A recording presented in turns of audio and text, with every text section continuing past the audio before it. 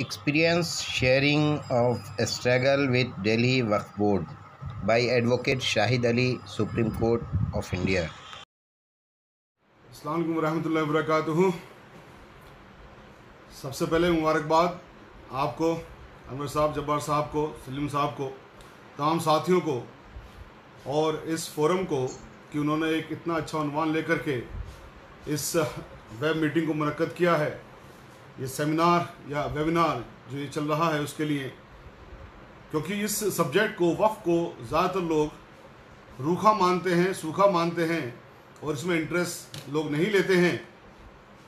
तो इसलिए चूँकि इस सब्जेक्ट को ज़्यादातर लोग रूखा और सूखा मानते हैं तो उस सब्जेक्ट पर एक पूरा वेबिनार का ऑर्गेनाइज कर देना अपने आप में काबिल तारीफ़ बात है। तो सबका बहुत बहुत शुक्रगुजार हूँ मैं। जो मुझे आज मौका मिला है आप लोगों से रूबरू होने का और पूरे देश के साथ रूबरू होने का, इस सब्जेक्ट पर जो कुछ दिल के अंदर चीज़ें हैं, जो मेरे आज तक एक्सपीरियंस में आई हैं, मैं आप सबके सामने वो चीज़ शेयर करना चाहता हूँ और साथ में मैं आखिर में इस पर आऊँगा कि हमारी अब क्या मोडस ऑपरेंडे होनी चाहिए और हम लोगों ने क्या करना चाहिए। इन सब चीज़ों को एकजुट करने के लिए या आज़ाद करने के लिए जो लिब्रेशन नाम से ही लगता है कि हम आज़ादी की बात कर रहे हैं, वक्फ बोर्ड की अवक प्रॉपर्टियों की। सबसे पहले मैं आपको ये बताना चाहता हूँ कि मेरी शुरुआत यहाँ पर कहाँ से हुई? मेरा जहाँ पर ऑफ़िस है, दिल्ली में, जंगपुरा एक जगह है। जंगपुरा में एक मस्जिद थी, उस मस्जिद को शहीद कर दिया।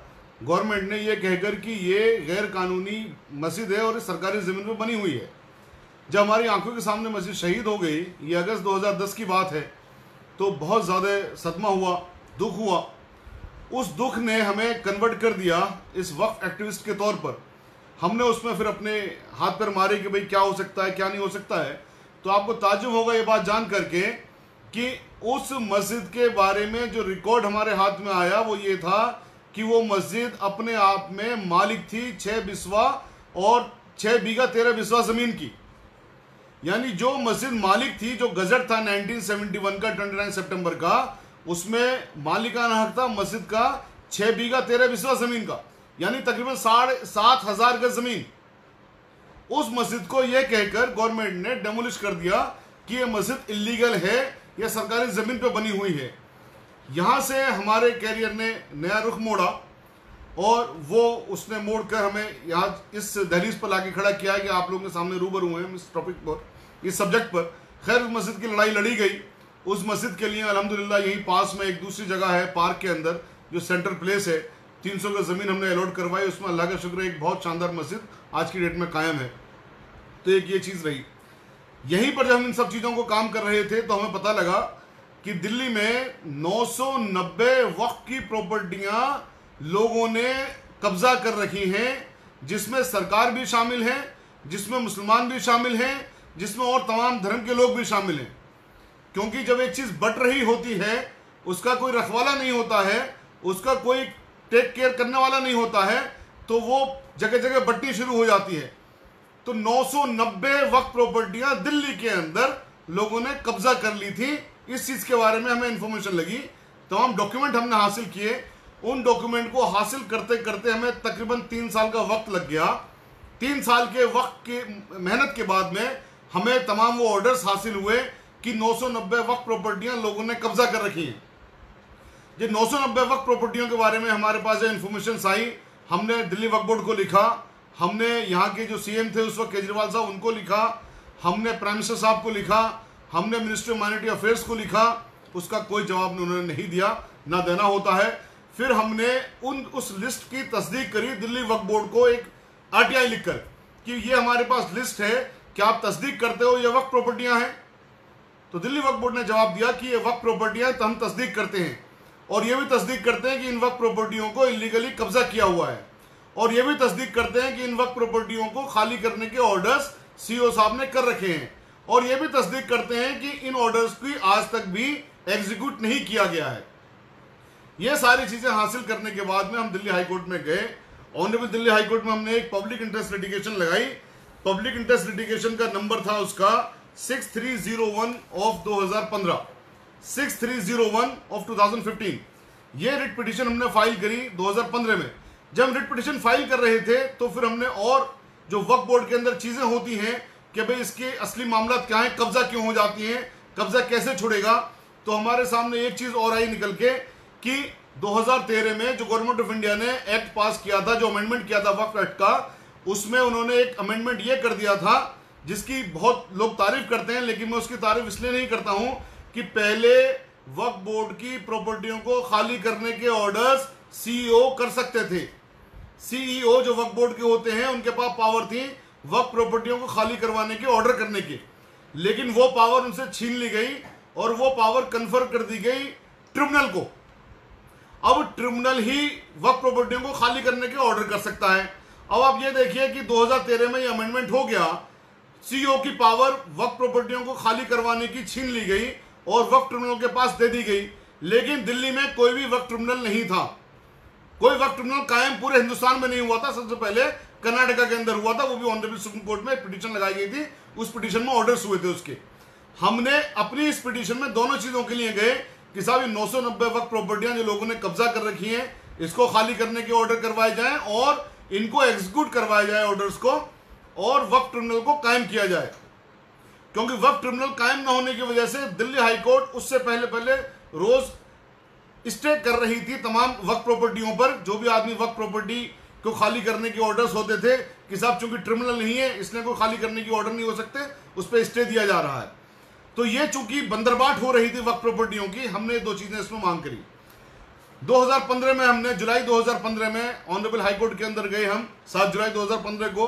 ऑनरेबल हाईकोर्ट ने मामले की संजीदगी को सोचा सोचा, और उसके बाद में नोटिस किए दिल्ली सरकार को कि साहब, आपने अभी तक खाली कार्रवाई क्यों नहीं है? एसडीएम क्यों कार्रवाई नहीं करते हैं? जबकि दफ़ा चौवन जो वक्त एक्ट का है, उसके अंदर एसडीएम को पावर्स हैं खाली करवाने की, और एसडीएम पुलिस की भी सहायता ले सकता है। लेकिन वक्त प्रॉपर्टियों में ऐसा क्यों होता है कि एक, दो, दस, बीस, पचास, सौ, दो सौ, पाँच सौ नहीं, नौ सौ नब्बे प्रॉपर्टियाँ लोगों ने कब्जा कर रखी हैं, खाली करने के ऑर्डर से खाली नहीं करवाए गए हैं। ऑनरेबल हाईकोर्ट ने जब ऑर्डर किए, दिल्ली सरकार ने जवाब दिया वक्त बोर्ड ने जवाब दिया वक्त बोर्ड ने फिर ये कहा कि साहब, इसमें हमें पार्टी बना दीजिए, क्योंकि ये वक्त प्रॉपर्टी तो हमारी है। खैर, बहरहाल वो वक्त बोर्ड के अंदर पार्टी बन गया। अब यहाँ पर क्या होता है कि Delhi high court, honourable Delhi high court लगातार ऑर्डर कर रही है कि इन ऑर्डर्स को आप एग्जीक्यूट करिए। लेकिन दिल्ली की सरकार और वक्फ बोर्ड कोई भी उस पर कार्रवाई नहीं कर रहे थे। तो जब मजबूरन ऑनरेबल हाई कोर्ट ने 2017 में सबसे पहले तो कामयाबी ये मिली कि वक्फ ट्रिब्यूनल कायम करने का ऑर्डर किया। तो दिल्ली में पहली बार वक्फ ट्रिब्यूनल 2017 में बना, जो अल्लाह का शुक्र हमारी पिटिशन के जब ऑर्डर ऑनरेबल हाईकोर्ट ने किया, तब बना। और उसके बाद में ऑनरेबल हाई कोर्ट ने जो दिल्ली की रेवेन्यू के सबसे बड़े ऑफिसर होते हैं डिविजनल कमिश्नर साहब तो डिविजनल कमिश्नर साहब को कोर्ट में उन्होंने बुला लिया कि आप सब पेश हो जाइए कोर्ट के अंदर, अब बताइए क्यों प्रॉपर्टियाँ खाली नहीं हो रही हैं। उसके बाद में जब कमिश्नर साहब को बुला लिया गया डिविजनल कमिश्नर साहब को तो उन्होंने दौड़ भाग करनी शुरू करी। तब जाकर के उन्होंने सात प्रॉपर्टियाँ खाली करवाई और उसके बाद में पाँच प्रॉपर्टियाँ और खाली करवाई।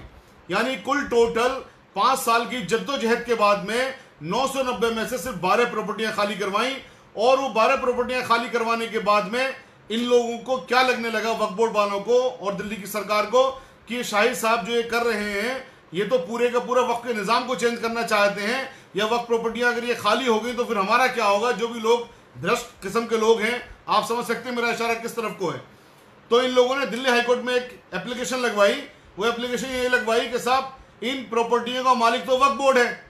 और प्रॉपर्टियाँ खाली होने के बाद भी वक्फ बोर्ड के पास आती हैं। और वक्फ बोर्ड खूब विजिलेंट है। तो फिर वक्फ बोर्ड ही इन केसेस को क्यों ना करे? क्यों शाहिद साहब इन केसेस को कर रहे हैं? और हम अंडरटेकिंग लेते हैं कि इन सारी वक्फ प्रॉपर्टियों को हम खाली करवाएँगे। यहाँ पर एक बात मैं और बताऊँ कि जो बारह प्रॉपर्टियाँ खाली हुई और जो वक्फ बोर्ड के पास गई तो वक्फ बोर्ड के लोगों ने अंडर द टेबल पैसे लेकर के उन प्रॉपर्टियों को रीलेट करना शुरू किया। जब हमें इन्फॉर्मेशन लगी तो हमने ऑनरेबल हाईकोर्ट पर पिटिशन लगाई कि साहब, इनको रिलेट ना किया जाए और उसके लिए बाकायदा रूल्स बने और इनका एक ओपन टेंडर हो। अखबार के अंदर उसका टेंडर निकले, ताकि जो उसकी इनकम है, जो मार्केट रेंट है, कम से कम वो तो उनका आ जाए।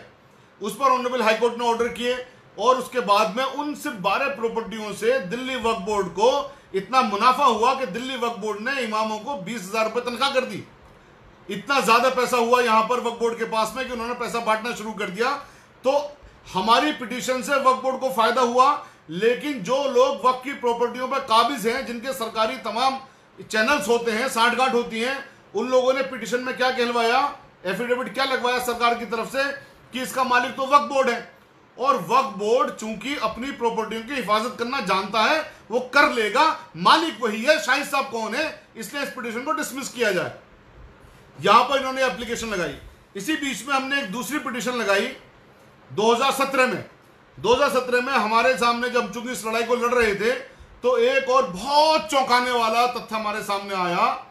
सर, इस चीज़ को जरा गौर से सुने, मेरी सबसे गुजारिश है कि एक बहुत चौंकाने वाला तथ्य हमारे सामने आया, वो ये था कि अकेले दिल्ली में 320 वक्त प्रॉपर्टियाँ भारत की सरकार ने पिछले 70 साल में, भारत की सरकार ने एक्वायर की। दफ़ा 50 वक्त एक्ट का यह कहता है कि भारत की सरकार वक्त प्रॉपर्टियों को एक्वायर नहीं कर सकती है।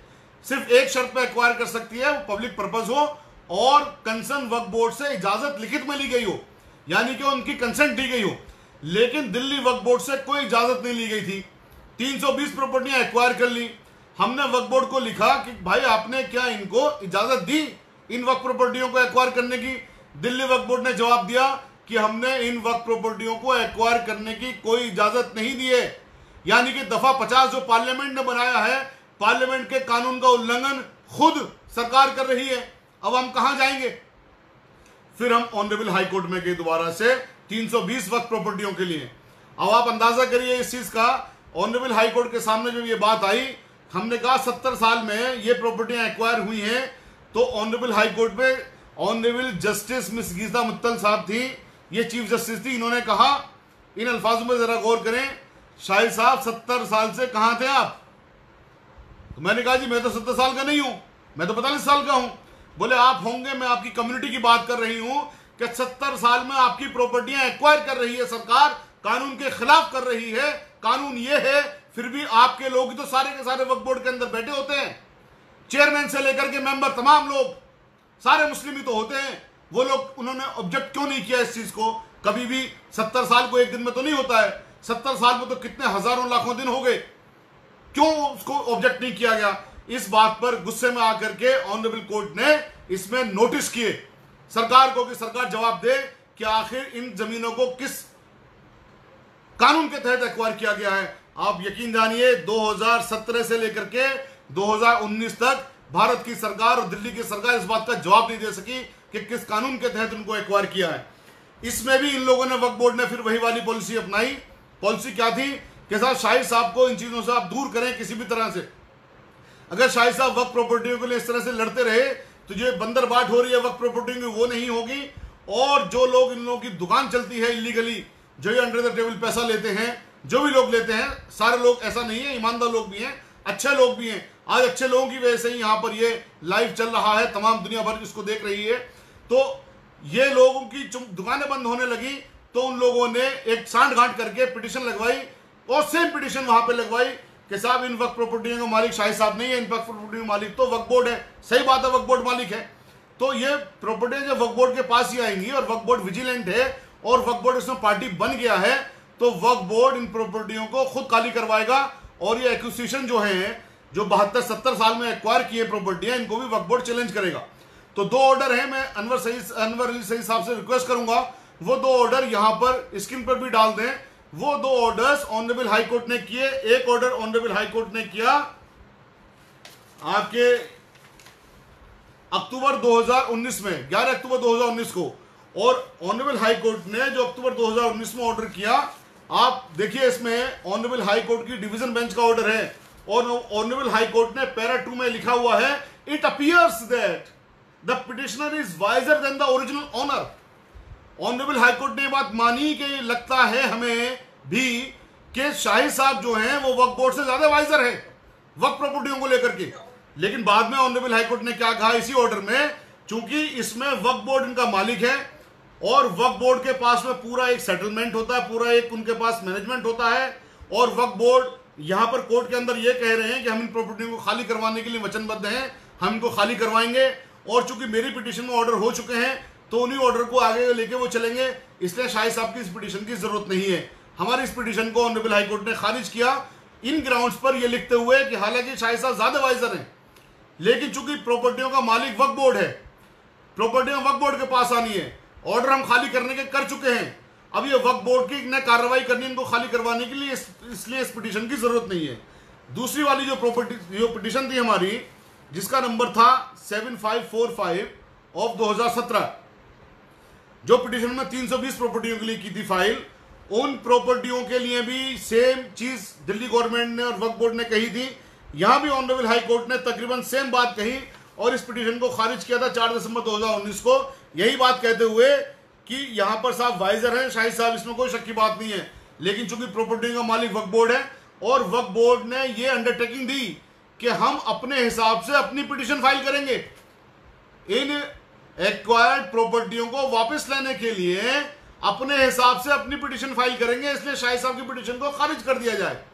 ऑनरेबल हाई कोर्ट ने वक्फ बोर्ड को लिबर्टी देते हुए हमारी पिटिशन को खारिज की 4 दिसंबर 2019 को। 4 दिसंबर 2019 से आज हम बैठे हुए हैं अगस्त 2020 में, और दूसरी पिटिशन खारिज की थी 11 अक्टूबर 2019 को। यानी कि तकरीबन एक पिटीशन में आठ महीने हो गए और एक पिटीशन में बारह महीने हो गए। आठ महीने हो गए और एक पिटीशन में आपके यस दस महीने हो गए। लेकिन अभी तक भी दिल्ली वक्फ बोर्ड ने या दिल्ली की सरकार ने दोनों पिटीशन में जो ऑनरेबल कोर्ट में वादा करके आए थे कि हम प्रॉपर्टी को खाली करवाने के लिए वचनबद्ध हैं, हम खाली करवाएँगे।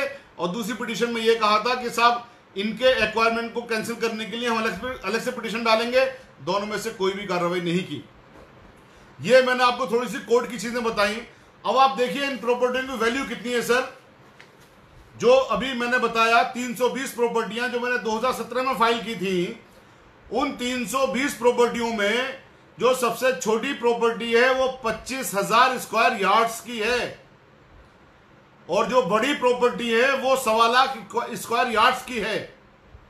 यानी कि तमाम प्रॉपर्टियाँ पच्चीस हज़ार से लेकर के सवा लाख स्क्वायर यार्ड्स तक हैं। अब ये जो इतनी प्रॉपर्टियाँ हैं, हम इन 320 प्रॉपर्टी को अगर एक मिनट के लिए मान लें कि इन सारी प्रॉपर्टियों की जो लंबाई चौड़ाई है, वो सिर्फ़ पच्चीस हज़ार स्क्वायर यार्ड से ज़्यादा नहीं है, मान लेती हम। फ़र्ज़ कर लेती हम। अगर पच्चीस हज़ार प्रॉपर्टियाँ तीन सौ बीस प्रॉपर्टियाँ पच्चीस हज़ार गज की हैं, और वो दिल्ली में तमाम प्रॉपर्टियाँ प्राइम लोकेशंस पर हैं, इनको अगर हम स्क्वायर फीट में तब्दील करें तो स्क्वायर फीट में तब्दील करने के लिए इनका नौ से हम गुणा करेंगे। नौ से मल्टीप्लाई करने पर इनका साइज़ निकल के आ जाता है दो लाख पच्चीस हज़ार स्क्वायर फीट दो लाख पच्चीस हज़ार स्क्वायर फीट निकल के आ जाता है एक प्रॉपर्टी का साइज़ तो एक प्रॉपर्टी का साइज़ हो गया दो लाख पच्चीस हज़ार स्क्वायर फीट अब जो यहाँ पर मार्केट रेंट है दिल्ली में, जो प्राइम लोकेशन से वो अस्सी रुपए भी स्क्वायर फीट है, पचास रुपए स्क्वायर फीट भी है, सत्तर रुपए स्क्वायर फीट भी है। हम पचास रुपए स्क्वायर फीट भी नहीं मानते हम चालीस रुपए स्क्वायर फीट भी नहीं मानते हम तीस भी नहीं मानते पच्चीस भी नहीं मानते हम कम से कम बीस रुपए स्क्वायर फीट रेंट मानते हैं सर। बीस रुपए स्क्वायर फीट अगर है प्रॉपर्टी का रेंट तो एक प्रॉपर्टी का रेंट एक महीने में जो निकल के आ जाता है वो निकल के आ जाता है आपका आ, ये अगर हमारे पास नौ से हमने गुणा कर दिया तो ये हो गया सात लाख बीस हज़ार स्क्वायर फीट हो गया तीन सौ बीस प्रॉपर्टी का अगर हम इसे 20 से गुणा कर देंगे तो इसका निकल के आ जाएगा टोटल रेंट जो एक साल का आएगा, वो 17 बिलियन 280 मिलियन यानी सत्रह हज़ार दो सौ अस्सी लाख करोड़ रुपया एक साल का रेंटल इन सिर्फ़ 320 प्रॉपर्टियों से आ रहा है। सर, मैं रिपीट कर रहा हूँ, सत्रह हज़ार दो सौ अस्सी लाख करोड़ रुपया इन 320 प्रॉपर्टियों से रेंटल एक साल का आता है। जो भारत की सरकार ने गलत तरीके से एक्वायर की हैं, जो कि खाली हो सकती थी हमारी पिटीशन में भी, जो कि अब भी खाली हो सकती हैं, क्योंकि दफ़ा पचास का वायलेशन है, जो कोर्ट में माना भी है। दिल्ली वक्फ बोर्ड का भी यही स्टैंड है कि दफ़ा पचास का वायलेशन है, और दिल्ली वक्फ बोर्ड ने जब ऑर्डर पढ़ेंगे तो ये लिखा हुआ है, हमें इसका कंपेंसेशन भी नहीं मिला। तो ये जो पैसा है सत्रह हज़ार दो सौ अस्सी लाख करोड़ रुपया, एक साल का रेंटल ये पैसा किसका है? ये पैसा यतीमों का गरीबों का मजलूमों का मुफलिसों का ये पैसा बेवाओं का ये पैसा इमामों का ये पैसा तमाम गरीबों का पैसा है। ये पैसा हम सब का पैसा है। सत्रह लाख सत्रह हज़ार दो सौ अस्सी लाख करोड़ रुपया सिर्फ़ तीन सौ बीस प्रॉपर्टियों का होता है एक, एक साल का किराया। अब इस एक साल के पैसे में आप मुझे बताइए सत्रह हज़ार दो सौ अस्सी लाख करोड़ रुपए से क्या आप एक हर साल एम्स से अच्छा हॉस्पिटल नहीं खोल सकते? क्या आप एक यूनिवर्सिटी कायम नहीं कर सकते? क्या आप इंजीनियरिंग कॉलेज कायम नहीं कर सकते? क्या आप और दूसरी चीज़ें कायम नहीं कर सकते? बिल्कुल कर सकते हैं। हम इतने पैसे से हर साल एक एम्स से अच्छा हॉस्पिटल कायम कर सकते हैं। हम एक यूनिवर्सिटी खोल सकते हैं। हम एक हॉस्पिटल खोल सकते हैं। हम एक बढ़िया से बढ़िया स्कूल खोल सकते हैं, जहाँ पर एडमिशन कराने के लिए लोग सिफारिशें लेकर घूम रहे हो। अब यहीं पर दूसरी प्रॉपर्टी पर आ जाता हूँ, दूसरी पिटिशन पे। उसमें 990 प्रॉपर्टियाँ हैं 990 प्रॉपर्टियों में से सिर्फ़ 12 प्रॉपर्टी खाली हुई। 12 प्रॉपर्टियों से इतना रेंटल वर्क बोर्ड के पास आ गया कि उसने यहाँ पर दिल्ली में बीस हज़ार रुपए तनख्वाह कर दी इमामों की। और पैसा यहाँ पर उन्होंने तमाम जगह बांटना शुरू कर दिया। जहाँ कहीं भी हमारा साहब जा रहे थे, वहाँ पर कहीं लाख रुपए दे रहे हैं, कहीं पचास लाख रुपए दे रहे हैं, कहीं दस लाख रुपए दे रहे हैं इमदाद के तौर पर तो सिर्फ़ बारह प्रॉपर्टियों से जब नौ सौ नब्बे प्रॉपर्टी हमारे पास आ जाती तो कितना किराया हमारे पास का होता? तो मैं अकेले खाली दिल्ली की बात करूँ, मिसाल के लिए, पूरे हिंदुस्तान के अंदर हमारे पास बहुत बड़ा जखीरा है, रेलवे के बाद सबसे बड़ी संपत्तियाँ हैं। अगर मैं खाली दिल्ली की बात करूँ विद रेस्पॉन्सिबिलिटी में कह रहा हूँ, हम हर साल पाँच चीज़ें कायम कर सकते हैं, हर साल पाँच चीज़ें, सिर्फ़ रेंटल इनकम से, वो पाँच चीज़ें, एक एम्स अच्छा हॉस्पिटल, एक इंजीनियरिंग कॉलेज एक हम डीपीएस काइंड का कॉलेज यानी बारहवीं क्लास तक का और बहुत सारे मोहल्ला क्लिनिक हम इसमें खोल सकते हैं। अब हमारे पास एक साल में इतनी कमाई हुई, अगले साल हमारे पास में फिर इतनी कमाई हो रही है, उसके बाद में हर साल हमारे पास इतनी कमाई हो रही है, पहले साल का इन्वेस्टमेंट हमने इन पाँच प्रॉपर्टियों पर कर दिया, जो हम खोल रहे हैं एम्स अच्छा हॉस्पिटल इंजीनियरिंग कॉलेज वैसा कॉलेज तमाम पोली क्लिनिक हम हर साल अगर ये खोल लें, पाँच साल तक का आप टारगेट ले लीजिए, एक तो इससे हर साल कम से कम हम पाँच हज़ार आदमियों को रोज़गार दे रहे हैं। पाँच साल में पच्चीस हज़ार आदमियों को रोज़गार हो गया। जो प्रोजेक्ट हमने आज शुरू किया, वो पाँच साल बाद वो आपका प्रॉफिट देना शुरू कर देगा। तो यानी कि पाँच साल बाद में जो आपका पहला प्रोजेक्ट था, उसने प्रॉफिट देना शुरू कर दिया और यही छठवें साल में फिर दूसरे प्रोजेक्ट ने प्रॉफिट देना शुरू कर दिया। यानी उसके बाद नेक्स्ट पाँच साल तक जो आपने पाँच साल तक ये प्रोजेक्ट बनाए, आपके पास में हर साल जो पैसा आ रहा है, वो पैसा आपका दौड़ा और चौथा गुना और दस गुना और पंद्रह गुना होना शुरू हो गया। अब आप सोचिए कितना पैसा आपके पास वक्त के ज़रिए आ रहा है। आप अकाउंट भी उसका नहीं लगा सकते हैं ढंग से। तो मुझे बताइए, जिसके पास में इतनी बड़ी तादाद हो प्रॉपर्टियों की और इतनी वक्त प्रॉपर्टियाँ हो, अगर हम उसको मार्केट वैल्यू में तब्दील करें तो हर हिंदुस्तानी मुसलमान, चाहे वो भी माँ के पेट के अंदर ही क्यों ना हो, वो कम से कम कम से कम 30 से 35 लाख रुपए की प्रॉपर्टी का मालिक है। इतनी अमीर कौम है ये हमारी, हमारे मुल्क के अंदर। और हमारे पास में खाने को, खाना नहीं होता, पहनने को कपड़े नहीं होते, दवाएँ नहीं होती हमारे पास हमारे पास कोई चीज़ नहीं होती। इतने पैसे से बताइए, हमारी जो बस्तियाँ हैं, किस कदर खिल सकती हैं क्या क्या वहाँ पर नहीं हो सकता है, हमारे लोगों के लिए क्या नहीं हो सकता? और एक चीज़ और, जब हॉस्पिटल खुलेंगे, इंजीनियरिंग कॉलेज खुलेंगे पोली क्लिनिक खुलेंगे, तमाम और जो दूसरी चीज़ें होती है सोसाइटी के अंदर, वो होंगी। तो पूरा हिंदुस्तान ही आगे बढ़ेगा ना? उसमें खाली मुस्लिम कौम तो आगे नहीं बढ़ेगी। पूरा हिंदुस्तान आगे बढ़ेगा। और हमारे पास इन वक्त प्रॉपर्टियों से इतना पैसा होगा कि हम हिंदुस्तान का बजट भी फाइनेंस कर सकते हैं। इतनी बड़ी मिकदार हमारे पास है। इतनी बड़ी सब चीज़ हमारे पास है। लेकिन ये हो नहीं रहा है। अब ये हो क्यों नहीं रहा है? मैंने आपके सामने एक एग्ज़ाम्पल दिया अभी कि हमने वक्त प्रॉपर्टियाँ खाली करवाने का मिशन चलाया। हमने इतनी वक्त प्रॉपर्टियाँ ढूंढी। जैसा अभी कहा अजबार साहब ने कि दिल्ली में 1026 वक्त प्रॉपर्टियाँ वक्त बोर्ड कहता है। लेकिन इन 1026 में ये नौ सौ नब्बे वक्त प्रॉपर्टियाँ उन्होंने काउंट नहीं की हैं। ये 320 वक्त प्रॉपर्टियाँ उन्होंने काउंट नहीं की हैं। अब आप सोचिए, इतनी ज़्यादा वक्त प्रॉपर्टियाँ होने के बावजूद भी वक्त बोर्ड कह रहा है, हमारे पास सिर्फ़ एक हज़ार छब्बीस प्रॉपर्टियाँ हैं। तो अब ये हमारी प्रॉपर्टियाँ कैसे निकले? आज मैंने मुकदमा फ़ाइल किया, कल हो सकता है सलीम मुल्ला साहब मुकदमा फ़ाइल करें, या अनवर अली सही साहब फ़ाइल करें, या और जो दूसरे लोग हैं हमारे भाई, वो फ़ाइल करें। उनका भी फेट यही होना है जो मेरे साथ फेट हुआ है। बात यह है, जो मेन बात है, जो कंपोजिशन वर्क बोर्ड का होता है, देखिए एक Muslim member Muslim MP member होता है, एक मुस्लिम एमएलए मेंबर होता है, दो जो हमारे मुतवली होते हैं, वो मेंबर होते हैं, एक आलिम दीन उसका मेंबर होता है, एक मुस्लिम सोशल वर्कर मेंबर होता है ये सारे तो मुस्लिम ही होते हैं। एक वकीलों में से चुनका जाता है बार काउंसिल के ज़रिए, वो वहाँ पर उसका मेंबर होता है। ये सारे के सारे मुसलमान कानून की नॉलेज रखते हैं। जब कानून की नॉलेज रखते हैं, सब कुछ होता है तो फिर दफ़ा पचास का वायलेशन कैसे करने दिया गया? कैसे भारत की सरकार ने प्रॉपर्टियाँ एक्वायर की? जब पार्लियामेंट में एक्ट बनाया हुआ नहीं कर सकते हैं पार्लियामेंट में एक्ट तो सरकार नहीं बनाया है ना? फिर सरकार ही उसकी मुखालफत कैसे कर रही है? तो फिर इस चीज़ को रोकने वाला भी कोई क्यों नहीं हुआ? सर, ये जो चीज़ है, इस चीज़ को अगर आप गौर करें, क्यों रोकने वाला नहीं हुआ? क्योंकि अगर इसके मेंबर, एक मेंबर ऑफ़ पार्लियामेंट नहीं होता, एक एमएलए नहीं होता, इसके मेंबर अगर हमारे पास होते, शिरोमणि गुरुद्वारा प्रबंधक कमेटी की तरह तो शायद ये नहीं होता। शिरोमणि गुरुद्वारा प्रबंधक कमेटी में होता क्या है? जरा सा मैं दो मिनट उसको बताऊँगा, फिर मैं मेन बात पे आऊँगा। आज से सही सौ साल पहले, पूरे सौ साल पहले 1920 में सरदारों ने एक आंदोलन शुरू किया था कि इनके जो गुरुद्वारों की प्रॉपर्टी है, इसका मैनेजमेंट का जिम्मा, इसकी ज़िम्मेदारी और इसके राइट्स सरदारों को मिले। उनका आंदोलन पाँच साल चला। 1925 में ब्रिटिश सरकार ने उनके लिए एक्ट पास किया, जिसका नाम था सिख गुरुद्वारा एक्ट 1925 जब सिख गुरुद्वारा एक्ट 1925 बना तो महात्मा गांधी ने यह कहा कि आज हम जंग आज़ादी की पहली लड़ाई जीत गए। आखिर क्या था इस सिख गुरुद्वारा एक्ट में 1925 के? वो ये था कि इनकी कमेटियाँ होंगी नेशनल लेवल से लेकर के वार्ड लेवल तक। यानी कि इनका सबसे ऊपर टॉप चेयरमैन होगा नेशनल लेवल का। फिर इसके बाद में इनकी स्टेट कमेटियाँ होंगी। स्टेट कमेटियों से के बाद में इनकी डिस्ट्रिक्ट कमेटियाँ होंगी।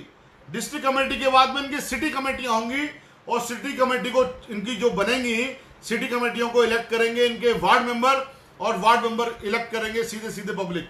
यानी कि इन्होंने अपने एक्ट में अकाउंटेबिलिटी और ट्रांसपेरेंसी ले ली थी 1925 में। अफसोस की बात यह है कि हमारे लीडरान ने इस चीज़ पे काम नहीं किया या इस चीज़ की शायद उन्होंने इस चीज़ की इंपोर्टेंस को नहीं समझा। अब सोचिए कि अगर सीधे मुसलमान इलेक्शन कर रहे हैं, अपने कमेटी का लेकर वार्ड लेवल सर और टॉप नेशनल लेवल तक तो मुझे बताइए, कहीं पर भी, किसी भी लेवल पर, कोई भी हमारी वक्त प्रॉपर्टी की तरफ़ को क्या उठाकर देख लेगा? चाहे वो कोई इंसान हो या सरकार हो, चाहे वो मुसलमान हो या गैर मुस्लिम हो, मैं दावा कर रहा हूँ, अगर आपके पास वार्ड वार्ड कमेटी है तो आपके वार्ड के अंदर आपकी प्रॉपर्टी की तरफ़ को देख नहीं सकता। आपके पास सिटी कमेटी है तो आपके शहर के अंदर आपकी वक्त प्रॉपर्टी की तरफ़ को देख नहीं सकता। आपके पास स्टेट कमेटी है तो आपके स्टेट के अंदर आपकी वक्त प्रॉपर्टी की तरफ़ कोई देख नहीं सकता। आपके पास नेशनल कमेटी है तो आपकी नेशनल जो वक्त प्रॉपर्टी है, उसकी तरफ़ आपकी कोई देख नहीं सकता। नई चीज़ क्या मांग रहे हैं हम? सिखों के इलेक्शन के लिए बाकायदा इलेक्शन कमीशन है। दिल्ली में आईटीओ पर उनका इलेक्शन ऑफ़िस है, जो पूरे हिंदुस्तान के सिखों के इलेक्शन को मॉनिटर करता, करवाता है। जैसे कि हमारे मुल्क के अंदर इलेक्शन होता है, उसका इलेक्शन कमीशन ऑफ़ इंडिया है। ऐसे इनका है यहाँ पर शिरोमणि गुरुद्वारा इलेक्शन कमीशन इनका इलेक्शन अलग से होता है। अब यहाँ पर चूँकि इनके लोग चुनके जाएँगे, इनके लोग ही चुनेंगे तो आप मुझे बताइए, ईमानदारी से बताइए, मैं सब लोगों से एक सवाल करता हूँ। आपसे भी मैं कर रहा हूँ कि अगर आप लोग वार्ड लेवल से लेकर के टॉप लेवल तक चुने जाए, क्या भारत की सरकार एक्वायर कर लेगी कानून के खिलाफ कोई चीज़? क्या आप लोग चुप बैठेंगे? अगर आप लोग चुप बैठेंगे तो क्या आप दोबारा चुने जाएँगे? बिल्कुल उसी तरह से जैसे कि कोई भी प्राइम मिनिस्टर होते हैं या चीफ मिनिस्टर होते हैं, अगर वो अच्छा काम नहीं करेंगे तो लोग उनको बदल देंगे। बिल्कुल इसी तरह से अगर आपका वक्त चेयरमैन अच्छा काम नहीं करेगा, आपकी वक्त कमेटी अच्छा काम नहीं करेंगी, आपकी प्रदेश कमेटी अच्छा काम नहीं करेंगी, आपकी डिस्ट्रिक्ट कमेटी अच्छा काम नहीं करेंगी तो जो वोटर्स है, जो मुस्लिम वोटर्स होंगे, वो उनको चेंज कर देंगे। और ये देखिए आप कि आपके पास में, आपके वक्त बोर्ड के पास में पैसा कितना है? इतना पैसा है कि पूरे हिंदुस्तान का बजट फाइनेंस कर दे। फिर तकलीफ़ किस बात की है? हम सरकार से तो कुछ नहीं मांग रहे ना एक, एक भी चीज़। हम सरकार से रिजर्वेशन तल, तलब नहीं कर रहे। हम सरकार से कोई फंड नहीं मांग रहे वक्त बोर्ड को चलाने के लिए। हम सिर्फ़ क्या मांग रहे हैं कि आप सिख गुरुद्वारा एक्ट 1925 की तरह हमारा एक्ट बना दीजिए। यहीं पर जब honourable justice miss Gita Mittal साहब ने यह कहा था कि शाह साहब कहाँ थे सत्तर साल से? ईमानदारी से बताइए, अगर ये गवर्नमेंट के चुने हुए लोग ना हो करके, अगर ये गवर्नमेंट के लोग चुने हुए ना होकर के सीधे पब्लिक के द्वारा चुने गए होते तो क्या एक भी प्रॉपर्टी आपकी भारत की सरकार कब्जा कर लेती एक्वायर कर लेती? नहीं कर सकती थी किसी भी कीमत पे, क्योंकि उस रिक्वायरमेंट को फॉरन चैलेंज कर दिया गया होता। और जब उस रिक्वायरमेंट को फॉरन चैलेंज कर दिया गया होता तो वो क्वेश हो जाता। आपकी प्रॉपर्टियाँ आपके पास होती। लेकिन नहीं हुआ। क्योंकि नहीं हुआ क्योंकि अब मेंबर ऑफ़ पार्लियामेंट जो इसका मेंबर है, वो कैसे ऑब्जेक्ट करे? वो तो सरकार का आदमी है। जो एमएलए है, जो चेयरमैन बना हुआ वो कैसे ऑब्जेक्ट करे? वो तो सरकार का आदमी है। सरकार ही एक्वायर कर रही है, सरकार के खिलाफ कैसे बोलेंगे ये लोग? जो बाकी मेंबर है, वो भी सरकार के आदमी है। तो सरकार के किसी भी एक्ट के खिलाफ, जब तक सरकार के द्वारा लोग चुने जाएँगे, वो सरकार के खिलाफ नहीं बोल सकते हैं। इसलिए ये प्रॉपर्टी आपकी है प्रॉपर्टी हमारी है। इसमें हमारे ही लोग इनको चुना जाना चाहिए। तो इसलिए जो हमारा एक ये आंदोलन है वक्त लिबरेशन, या liberation of Waqf properties and Waqf board, वो यही है कि आपकी वक्त प्रॉपर्टियाँ और आपके वक्त बोर्ड तभी आज़ाद होंगे जब इनका सरकार से नियंत्रण हट करके सीधा मुसलमानों के पास आ जाएगा और मुसलमानों के पास लाने के लिए हम ये इलीगल चीज़ नहीं है, ये अनकॉन्स्टिट्यूशनल चीज़ नहीं है, ये अनोखी चीज़ नहीं है, ये हिंदुस्तान के अंदर ऑलरेडी हो रही है। आप सिख गुरुद्वारा देख लीजिए। कॉन्सेप्ट हमारा है कर्जा हंसना देना। लेकिन इस एक्ट की बदौलत, जो उनके लोग चुनते हैं, उनके अहदेदारान को, सिर्फ़ उसकी बदौलत, चूँकि उनके यहाँ पर ट्रांसपेरेंसी अकाउंटेबिलिटी आ गई, वो अपने लोगों को कर्जाए हंसना देते हैं। शर्म आती है मुझे अपने ऊपर खास तौर से। कॉन्सेप्ट हमारा, अमल दूसरे कर रहे हैं। लोग, देखो, उनको सरदार भी कहते हैं, यानी के सरदार यानी लीडर ये इज़्ज़त अल्लाह ताला ने उनको दी जब उन्होंने हमारी चीज़ों को अपनाया और हमने अपनी चीज़ों को छोड़ दिया। बड़े अफसोस की बात यह है। तो हमारे जो चीज़ें हैं, मैं इसमें, मेरा ख्याल टाइम भी होने जा रहा है। मैं अपनी बात को समम इस बात से करूँगा कि मैंने आपके सामने सिर्फ़ दिल्ली के एग्ज़ाम्पल दिए, यहाँ हमारे साथ में जुड़े हुए हैं, तांबोली साहब पूना से भी। मैं यहाँ भी गया था, पूना में मैंने कॉन्फ्रेंस की थी और इन्होंने वहाँ पर बहुत ज़बरदस्त तरीके से एक आंदोलन चलाया था। कर्नाटक से भी हमारे साथ में जुड़े हुए हैं यहाँ पर। उन्होंने कर्नाटक में भी आंदोलन चलाया था। इसमें अगर पूरे हिंदुस्तान से मिलकर के, पूरे भारत से मिलकर के ये आंदोलन चले, जैसा 1920 में 100 साल पहले सरदारों ने चलाया था, आपका उन्होंने सिख गुरुद्वारा एक्ट 1925 बनवा लिया था। अब यकीन रखिए कि इंशाल्लाह 2025 तक आपके पास भी ऐसा ही कानून होगा, और जब ऐसा कानून होगा तो आपके वक्त बोर्ड भी आज़ाद होंगे, आपकी वक्त काउंसिल भी आज़ाद होगी आपकी वक्त प्रॉपर्टियाँ भी आज़ाद होंगी। अब मैं यहाँ पे एक बात और बता दूँ, इस चीज़ के लिए भी हम लोग लगातार मेहनत कर रहे हैं।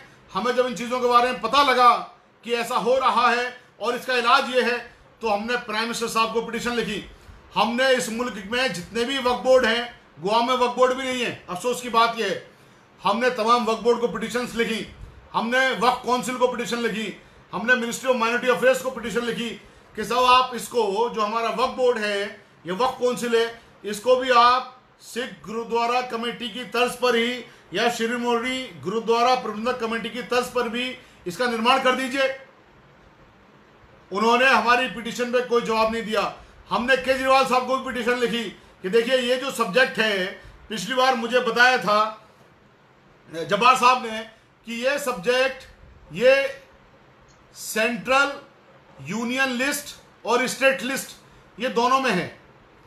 यानी कि वक्त का जो मैटर है, वो सेंट्रल और स्टेट दोनों लिस्ट में है। अब अगर सेंट्रल इस पर नहीं कर रही है तो कोई भी स्टेट, यानी जिस भी स्टेट की सरकार इस पर काम कर सकती हो, वो स्टेट एक अमेंडमेंट करके सरकार को, यानी वक्फ बोर्ड को आज़ाद करने का ऑर्डर करवा सकती है। बलीक साहब, आप भी जुड़े हुए हैं, मैं आपसे कहता हूँ, आप कहिए हैदराबाद में एआईएमआईएम से कि वहाँ पर एक्ट पास करवाएँ।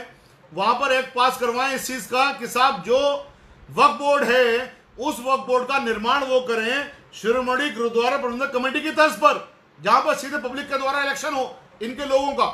हमने केजरीवाल साहब से भी इस चीज़ की मांग करी है कि आपकी असेंबली के अंदर पूरी स्ट्रेंथ है। पूरी स्ट्रेंथ है आपकी। और आपका कुछ नहीं जा रहा। हमारे किसी हिंदू भाई की जेब से कुछ नहीं जा रहा। किसी और धर्म के भाई की जेब से कुछ नहीं जा रहा। ये हमारी प्रॉपर्टियाँ हमारे लोग ही लूट रहे हैं ज़्यादातर। सरकार में भी, अगर सरकारें भी लूट रहे हैं, वो भी हमारे लोगों की कमी की वजह से लूट रही हैं। और कोई नहीं लूटने आ रहा हमें। या तो हमारे लोग चीज़ें लूट रहे हैं, या हमारे लोग उस चीज़ को लुटवाने में मदद कर रहे हैं। तो इसलिए हमने ये गुजारिश की है कि अगर पर स्टेप नहीं ले रही है तो कम से कम खुदारा स्टेट उस पर स्टेप ले ले।